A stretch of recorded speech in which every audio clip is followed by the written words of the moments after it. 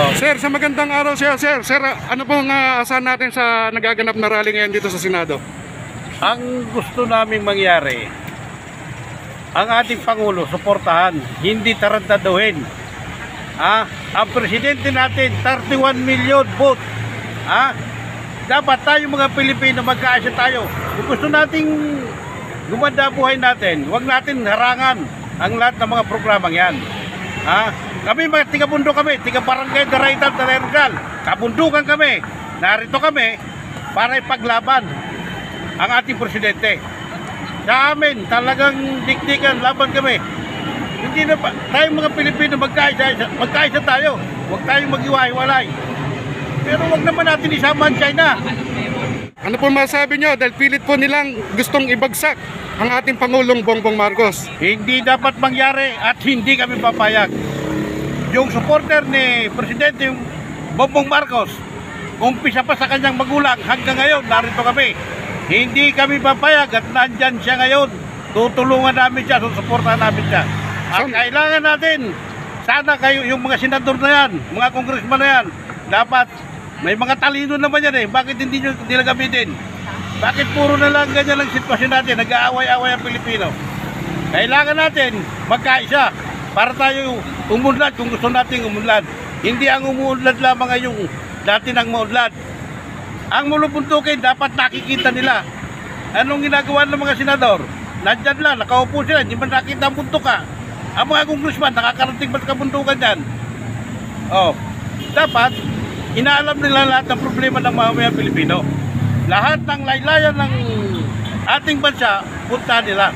So, ibig sabihin, sir, ah, napapabayaan pa ang ating, ah, Maraming napapabayaan sa ang kabuntukan. ating kabuntukan, no? Pati nga ag- agriculture, sir. agriculture napapabayaan din dahil pag nag pag nagka, nag nagbubugta yung isang mamamayan isang sibilyan ng lupain medyo kinakat naman ng DNR o paano tayo makakapagtanim ay hindi pinapayagan ng DNR na magbugta ng lupa sana marinig nilang lahat yan kami mahilig kami magtanim hindi na kami makapagtanim sa ngayon alam nyo kung bakit Hinuhuli kami ng DNR pag naglinis kami ng kagubatan. Saan kami magtatanim? Dito sa semento. Dapat malaman ng mga senador, congressman. Tulungan nila ang ating presidente. Tulungan din natin ating magsasaka, sir. Dapat lang. Ma- mahilig tayong mag- magtanim. Ang Pilipino mahilig magtanim. Ay kami, hindi na kami makapagtanim sa amin. Oh, maski bisitahin nyo.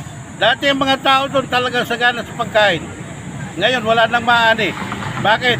Pag nagkaingin, hinuhuli ng TNR, pinapakulong. Grabe talaga, no? O paano yan? Ano ba tayo? Gusto mo natin mabuhay ang Pilipino, papatay natin. Yun po ang aking panawagan sa ating gobyerno. Suportahan natin ang ating presidente. Kayo mga congressman, kayo mga senador, umilos kayo. Hanapin nyo yung tama, huwag yung puro puro lang kayo pagtatalo dyan eh. Wala naman nangyayari. Sir. Nauubos pa pera ng gobyerno. Sir, ano po masabi nyo sa gumugulong na hearing ngayon dyan, no? Sa pangunguno, pangunguna na, na si Senator Bato de la Rosa, hinggil po sa drogang ah, issue ng ating mahal na Pangulo. Ang para sa akin, yung nasa saad sa batas sundin. Ang nagkasala ay nagkasala. Hindi pwedeng yung nagkasala ay tinatago. Kung ano nasa saad sa batas, kung ano naroon sa batas, sundin natin. Huwag natin itago yan. Kung yan ay nagkasala, bakit hindi? Ha? Huwag natin ito-tolerate yung mga ganyang bagay. Alam natin nakakasira na ng ating sambayan ng Pilipino. Sir, ano po masabi nyo sa panawagan ng mga Marcos loyalist na pumasok ng ICC sa ating bansa? ay ang na, ang masasabi ko diyan natural lang natural lang na yung batas ay sundin kung tayo sakop ng ICC natural lang na papasukin. Ha? Dahil pag hindi makakapasok ng ICC wala mangyayari sa atin. Ayan. palaging ang magiging presidente sa atin kung mga senador ay walang walang batas na maglilitis parang ganun. Sir, ano po masabi nyo sa kalagayan ng ating ng West Philippine Sea? Yan. Magandang tanong yan ha. Ako bilang isang Pilipino, hindi ako namamayagan na sakupin tayo ng mga China yan. Kung kinakailangan lumaban ng Pilipino, bakit hindi? Hindi ako papayag. Kahit buhay ko, i- iaalay ko basta sa bansa natin, sa bansang Pilipinas. Ayun. Hindi ako papayag na ang Chinese pumasok dito. Yan po ang pinaninindigan ko sa buhay ko. Ah, sir, uh, mensahe po para sa ating mga sambayan ng Pilipino. Lahat ng Pilipino, suportahan natin ang presidente natin at nang tayo ay maging maayos lahat. Huwag natin dyan kung ano-anong ilagay natin dyan sa mga nakaupo na yan dyan. Yan naman nakikita nyo yung mga ginagawa niya. At yan ay mangyayari dahil tayo bumagsak na nga sa COVID na pumasok ang Presidente Marcos, magbabawi pa lang tayo ay gusto nyo palisin. Ay pag nawala yan, lalo na tayo lulubog. Kinakailangan tulungan natin ating presidente. Huwag natin iaasa lahat sa kanya. Ah, mensahe po para sa ating mahal na Pangulong Bongbong Marcos. Ang mensahe ko kay mahal na Pangulong Marcos, Sir, basta tuloy lang kayo. Narito kami sa likod nyo, supporter nyo kami.